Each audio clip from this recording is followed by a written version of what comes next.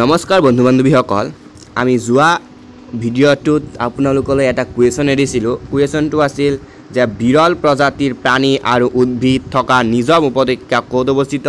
আমি অপশ্যন চাৰিটা দিছিলোঁ অপশ্যন এ অসম দিছিলোঁ অপশ্যন বি পশ্চিমবংগ দিছিলোঁ অপশ্যন চি তামিলনাডু দিছিলোঁ আৰু অপশ্যন ডি কেৰালা দিছিলোঁ।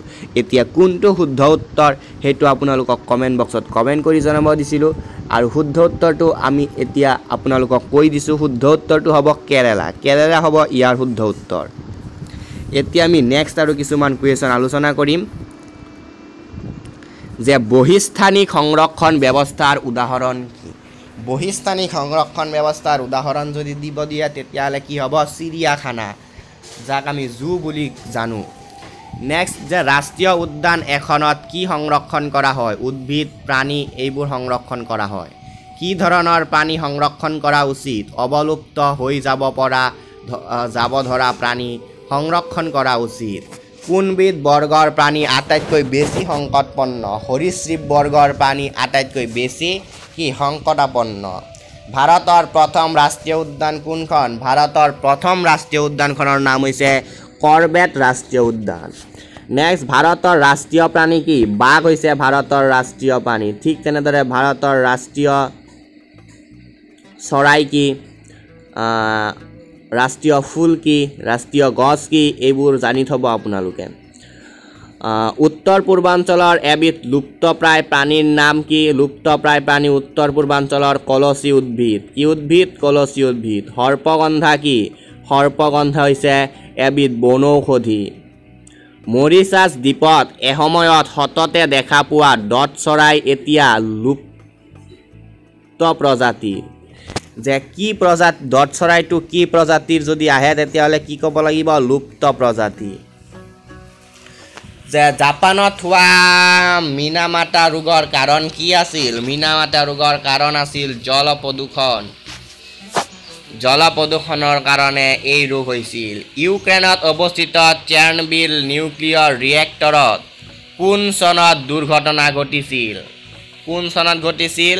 ইউক্ৰেইনত অৱস্থিত চেৰ্নবিল নিউক্লিয়াৰ ৰিয়েক্টৰ কোন চনত দুৰ্ঘটনা ঘটিছিল? Nineteen eighty six nineteen eighty ছিক্সত উদ্ভিদ আৰু প্ৰাণীৰ মাজত থকা সম্পৰ্কৰ এটা মুখ্য কাৰণ কি? খাদ্য। পানীয় খাদ্য খাব লাগে উদ্ভিদেও খাদ্য গ্ৰহণ কৰিব লাগে।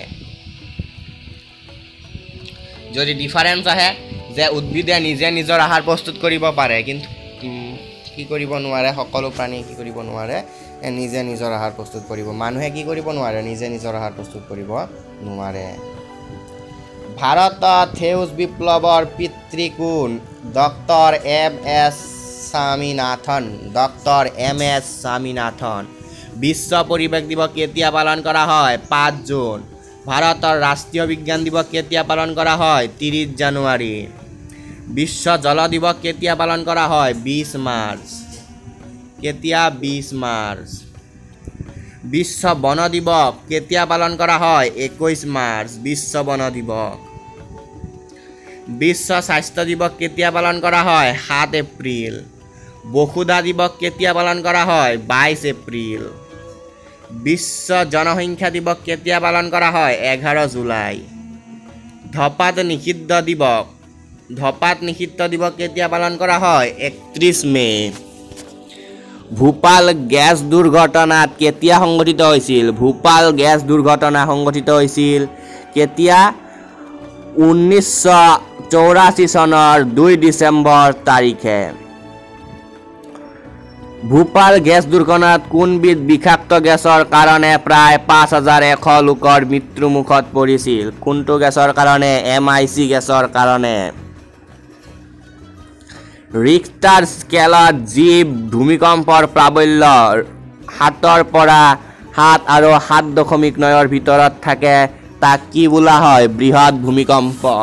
অৰ্থাৎ ভূমিকম্পৰ প্ৰাবল্য কিমান হ'লে ভূমিকম্প বৃহৎ হ'ব পাৰে? সাতৰ পৰা সাত দশমিক নৰ ভিতৰত ভূমিকম্পৰ প্ৰাবল্য থাকিলে ৰিক্টাৰ স্কেলত। উইলি উইলি কি? উইলি কি? উইলি হৈছে অষ্ট্ৰেলিয়াৰ চক্ৰবাত।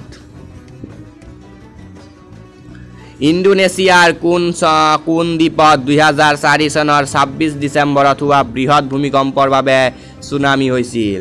কোন দ্বীপত? সুমাত্ৰা সুমাত্ৰা দ্বীপত।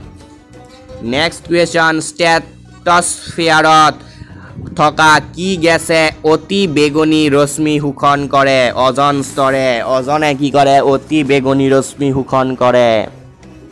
অজনৰ সংকেতটো কি? অজনৰ সংকেতটো হৈছে অ' থ্ৰী অ' থ্ৰী হৈছে অজনৰ সংকেত। নেক্সট কুৱেশ্যন যে তলত দিয়া কোনবিধ গেছক সেউজ গৃহ নুবোলে? অক্সিজেনক সেউজ গৃহ নুবোলে। নেক্সট ষাঠি নম্বৰ কুৱেশ্যন যে ফ্ল'ৰাইড প্ৰদূষণৰ দ্বাৰা মানুহৰ দেহৰ অংগ প্ৰথমে প্ৰভাৱিত হয়। সঁচা চৰি ফ্ল'ৰাইড প্ৰদূষণৰ দ্বাৰা মানুহৰ দেহৰ কোনটো অংগ প্ৰথমতে প্ৰভাৱিত হয়? দাঁত মানুহৰ প্ৰথমতে প্ৰভাৱিত হয়। তো আজিলৈ কুৱেশ্যনৰ উত্তৰখিনি এইখিনিলৈ সামৰিম। আমি যোৱা ভিডিঅ'ত ত্ৰিছটা কুৱেশ্যন কৰিছিলোঁ। এইটো ভিডিঅ'ত ত্ৰিছটা কুৱেশ্যন কৰিলোঁ। ত্ৰিছটা মানে যোৱা ভিডিঅ'ত ত্ৰিছটাৰ পিছত একত্ৰিছ নম্বৰ কুৱেশ্যনটো আমি কি কৰিছিলোঁ? আপোনালৈ এৰিছিলোঁ। এতিয়া আমি ষাঠি নম্বৰৰ কুৱেশ্যনটো কৰি আমি এষষ্ঠি নম্বৰ যিটো কুৱেশ্যন সেইটো আপোনালৈ এৰিম। এইটো কুৱেশ্যন আপোনালৈ এৰিছোঁ যে কোনবিধ প্ৰদূষকৰ দ্বাৰা তাজমহলৰ ক্ষতি হ'ব পাৰে বুলি আশংকা কৰা হয়? হয়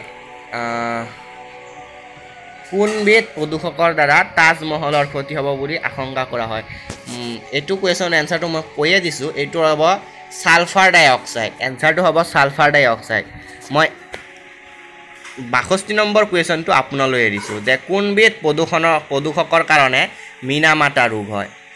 এইটো কুৱেশ্যনটো আপোনালোকে কি কৰিব লাগে? কমেণ্ট বক্সত জনাব লাগে কুৱেশ্যনৰ এনচাৰটো যে কোনবিধ প্ৰদূষকৰ কাৰণে মীনা মাতা ৰোগ হয়? ধন্যবাদ। আজিলৈ এইখিনিয়ে।